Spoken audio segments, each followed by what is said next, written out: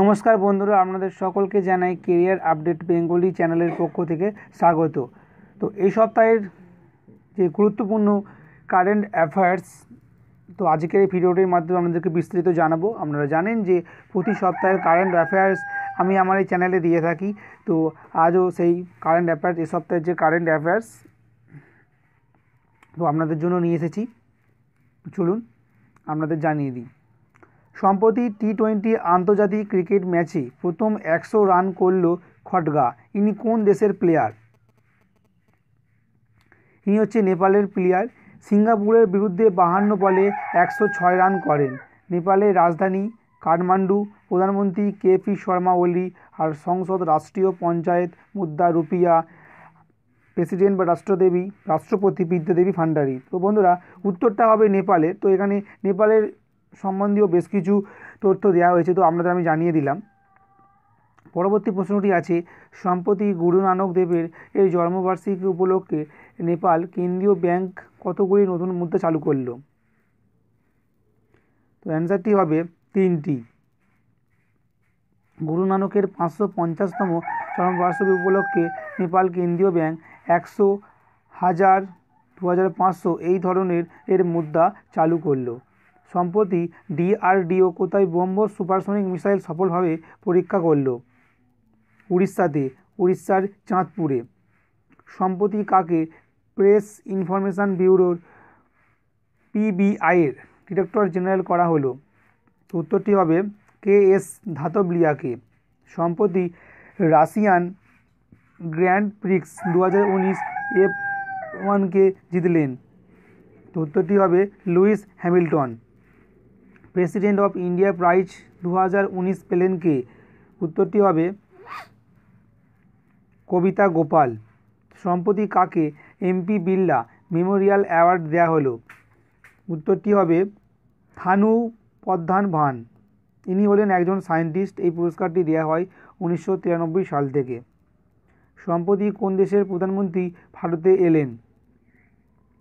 উত্তরটি হবে বাংলাদেশের। চৌঠা অক্টোবর দু হাজার উনিশ সালে।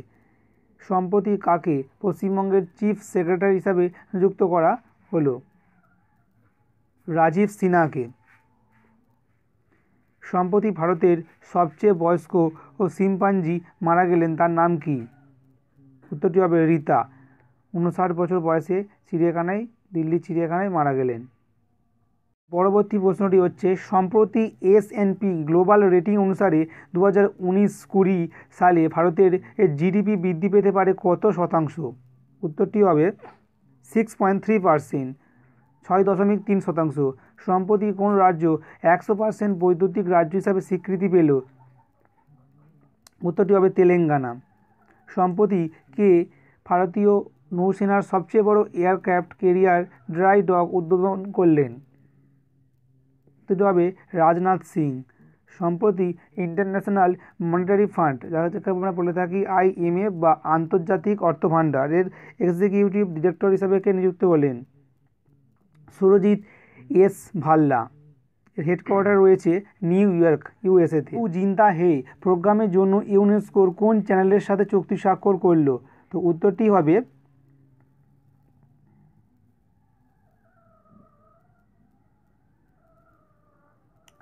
দূরদর্শনের সাথে চুক্তি স্বাক্ষর করল ইউনেস্কো।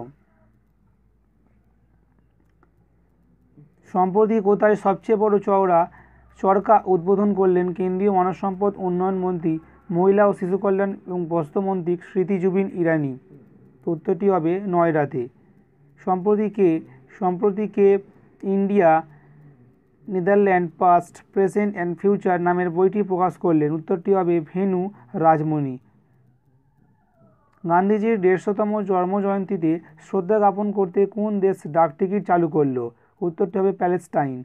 স্বচ্ছ অ্যাম্বাসাডার অ্যাওয়ার্ড, কেলেন কে? সচিন তেন্ডুলকার। ডং ফিং একচল্লিশ, শক্তিশালী ক্ষেপণাস্ত্র উদ্বোধন করল কোন দেশ?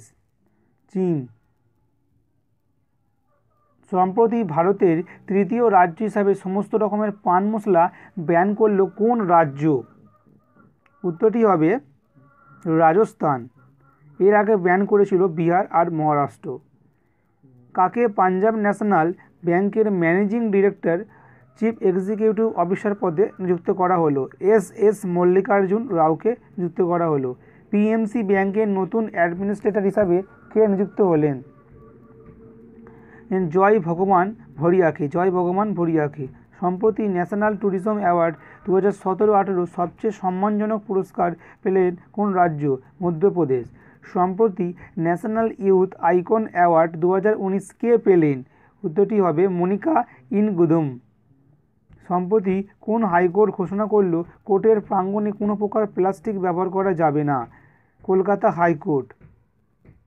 সম্প্রতি কোন ব্যাংক এক্সপ্রেস এফডি লঞ্চ করল? উত্তরটি হবে Axis bank.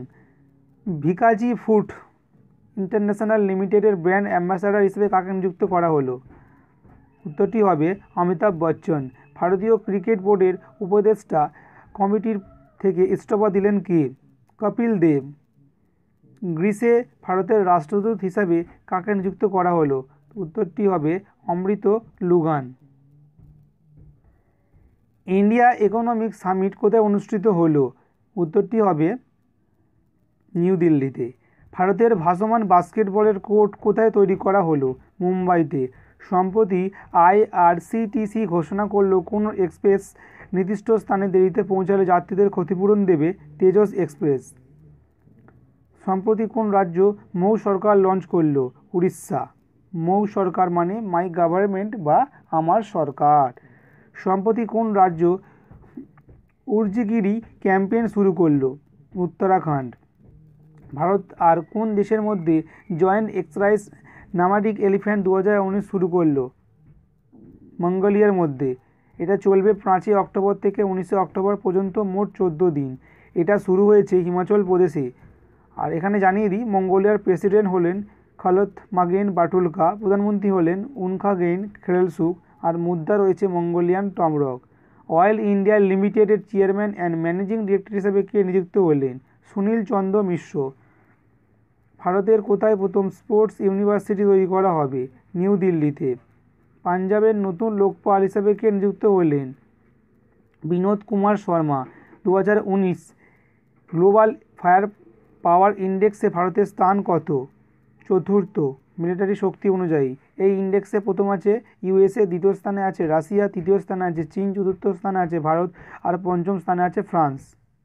Press Mumbai cricket অ্যাসোসিয়েশনের প্রেসিডেন্ট হিসেবে কে নিযুক্ত হলেন? বিজয় পাতিল। আইএমডি, স্মার্ট সিটিজ ইন্ডেক্সে শীর্ষ কোন শহর? সিঙ্গাপুর। সম্প্রতি আরবিআই রেপো রেট কমিয়ে কত শতাংশ করল? ফাইভ পয়েন্ট পনেরো পার্সেন্ট সম্প্রতি কোন রাজ্য লঞ্চ করল? ওয়েসার বাহান মিত্র যোজনা। বাহন মিত্র যোজনা যাকে বলা থাকে, অন্ধ্রপ্রদেশ। সম্প্রতি কে উদ্বোধন করল গোয়া মেরিটাইম কনক্লেভ দু হাজার উনিশ। অজিত দোবাল, ইনি হলেন ভারতের ন্যাশনাল সিকিউরিটি এজেন্সির প্রধান।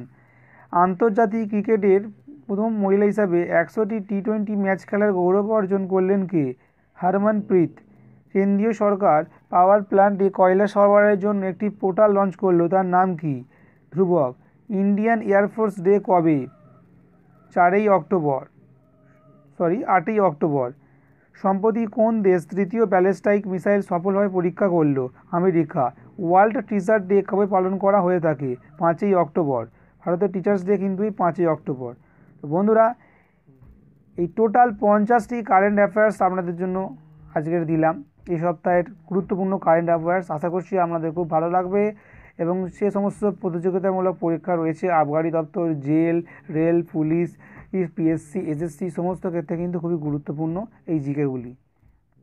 ধন্যবাদ।